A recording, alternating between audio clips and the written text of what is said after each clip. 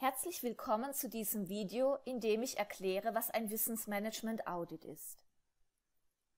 Mit einem Wissensmanagement Audit sollen Stärken und Schwächen im Umgang mit Informationen und Wissen in einer Organisation identifiziert werden. Dies ist die Grundlage, um dann potenzielle Handlungsfelder für Wissensmanagement abzuleiten. Also Bereiche, in denen die Initiierung von Wissensmanagementmaßnahmen sinnvoll und nutzenstiftend sein kann. Wie läuft nun ein solches Wissensmanagement-Audit ab? Im Grunde besteht es im Wesentlichen aus einer Befragung der Mitarbeiter und Führungskräfte. Ein Wissensmanagement-Audit hat ein mehrstufiges Vorgehen. Im ersten Schritt findet eine schriftliche Befragung der Mitarbeiter und Führungskräfte statt. Hier geht es darum, eine möglichst breite, möglichst repräsentative Basis zu finden. Das heißt, möglichst alle Mitarbeiter und Führungskräfte anzusprechen. Das kann natürlich papierbasiert äh, passieren äh, oder über ein Online-Tool, das dann im Nachgang die Auswertung der Ergebnisse auch unterstützt und einfacher macht. In einem zweiten Schritt werden dann die Ergebnisse der Befragung ausgewertet und erste Hypothesen hinsichtlich der Stärken und Schwächen, aber eben auch schon hinsichtlich der potenziellen Handlungsfelder abgeleitet. Diese werden dann in einem dritten und letzten Schritt in strukturierten Interviews mit ausgewählten Mitarbeitern und Führungskräften verifiziert, konkretisiert und vertieft. Die Interviews sind in der Regel auch ein guter Anlass, tatsächlich für diese identifizierten Schwächen und Handlungsfelder schon gemeinsam mit den Mitarbeitern und Führungskräften erste Ideen für mögliche Maßnahmen zu entwickeln. Am Ende eines Audits steht ein klares Bild der Stärken und Schwächen im Umgang mit Information und Wissen in der Organisation, eine klare Kenntnis der Handlungsfelder für Wissensmanagement und gegebenenfalls erste Ideen für Maßnahmen. Ja, was wird in einem Wissensmanagement-Audit gefragt? Das sind nur einige Beispiele möglicher Fragen. Vielleicht haltet ihr das Video an der Stelle auch einfach kurz an, um in Ruhe auf diese Folie zu schauen. Im Grunde geht es ja darum herauszufinden, wie der Umgang mit Wissen und Information in der Organisation ist. Also um welches Wissen geht es überhaupt? Welches Wissen wird benötigt? Welches Wissen entsteht aber auch in der tagtäglichen Arbeit, in den Geschäftsprozessen? Ist dieses Wissen verfügbar, zeitnah? Wo treten Wissenslücken auf? Wann treten diese auf? Warum? Ist Wissen für Entscheidungen prinzipiell vorhanden oder eher nicht? Welche Daten, Informations- und Wissensquellen werden in der Regel genutzt? Wie zufrieden sind die Mitarbeiter mit diesen Möglichkeiten? Sind die Daten, Informations- und Wissensquellen in der Organisation überhaupt allen Mitarbeitern bekannt? Wie steht es um die Experten? Sind diese in der Organisation bekannt? Ist Wissensmanagement in der Organisation oder im eigenen Bereich überhaupt ein Thema? Gibt es entsprechende Ziele, vielleicht auch heruntergebrochen auf den einzelnen Mitarbeiter? Gibt es klare Regeln für die Ablage von Informationen? Gibt es klare Prozesse, gelebte Prozesse für zum Beispiel den Wissensaustausch? Wie effizient sind Besprechungen im Hinblick auf den Wissensaustausch? Wird die Kultur als wissensförderlich empfunden?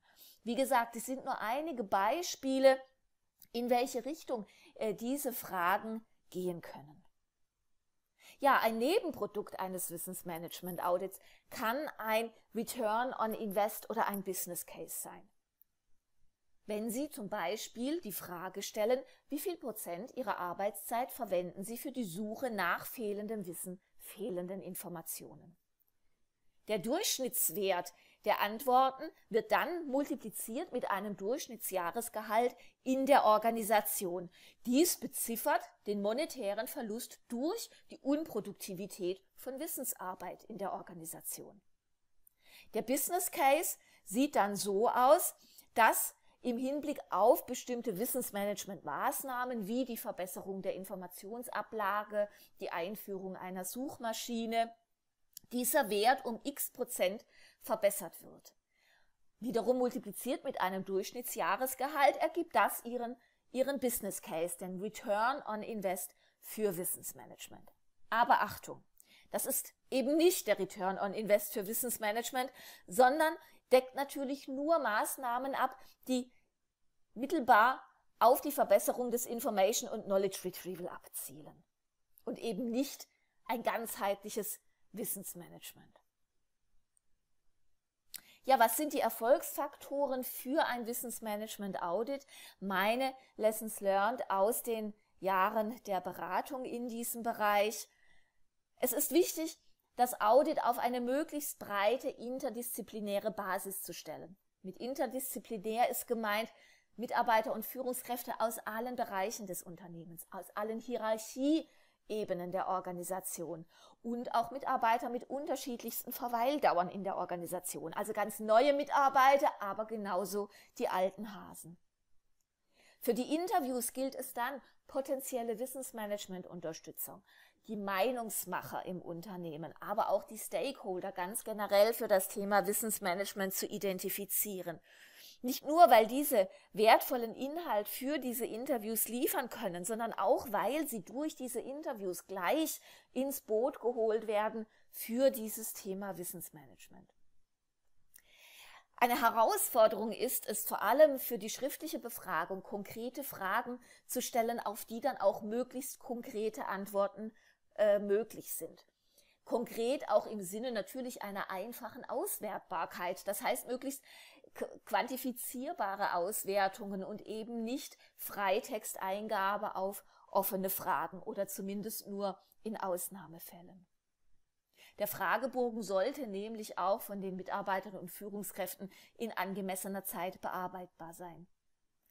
Ja, und dann entsteht durch ein solches Wissensmanagement-Audit in der Regel ein, ich nenne es mal, Schwung der Partizipation. Das heißt, alle Mitarbeiter sind angesprochen. Alle Mitarbeiter beschäftigen sich plötzlich mit diesem Thema Wissensmanagement. Sie fühlen sich abgeholt in ihren Ideen, aber auch darin, wo sie der Schuh drückt.